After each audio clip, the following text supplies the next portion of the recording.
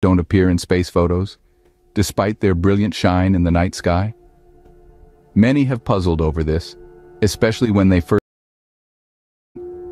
the moon, so vivid and detailed, yet the stars, conspicuously absent.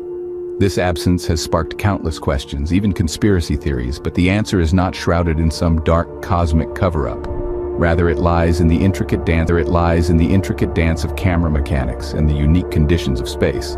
See, when astronauts like Neil Armstrong and Buzz Aldrin set foot on the weren't just defying gravity, they were grappling with the stark contrasts of light and dark in the lunar landscape. The moon's reflective surface, devoid of atmospheric diffusion, can easily over rendering the faint stars invisible. So it's not that stars are shy.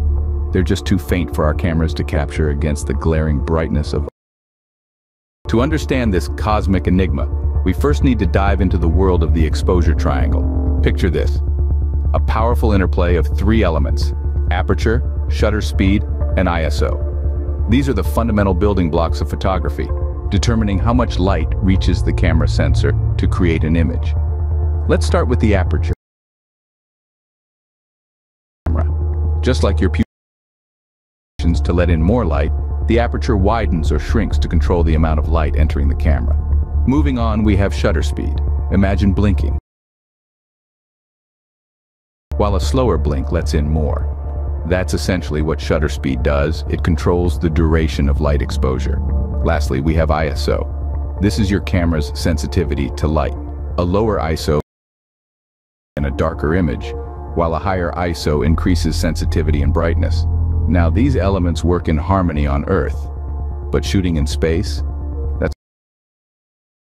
You see, space lacks an atmosphere to scatter sunlight, and the moon's reflective surface is intensely bright.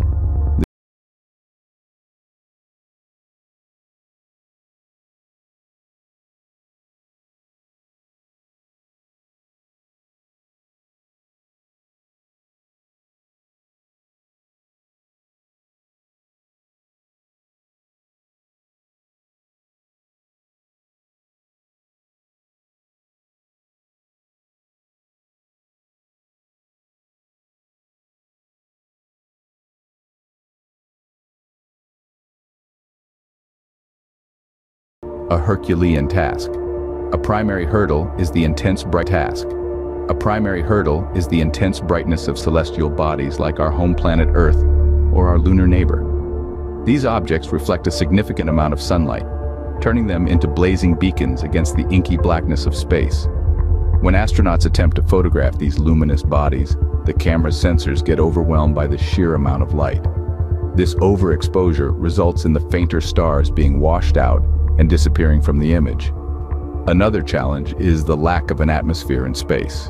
On Earth, our atmosphere scatters sunlight, softening its intensity and allowing for more balanced photographic conditions. In space, however, there's no atmosphere to mitigate the harsh sunlight, making it even more difficult to capture detailed images without overexposure. These challenges mean that despite the incredible advancements in technology, we are still limited in our ability to photograph the cosmos from space. Our cameras, as sophisticated as they are, struggle to capture the delicate balance of light and darkness that our eyes perceive when we gaze upon the night sky. Capturing the beauty of the universe is an art as well as a science, and our current technology has its limits. While our cameras may struggle, telescopes excel in revealing the cosmic beauty.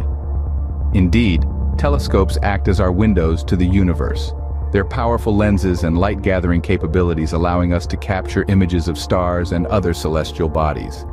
These aren't mere snapshots, but the result of collecting light over extended periods, transforming faint whispers of photons into vibrant portraits of cosmic phenomena. The power of telescopes isn't confined to just image capturing.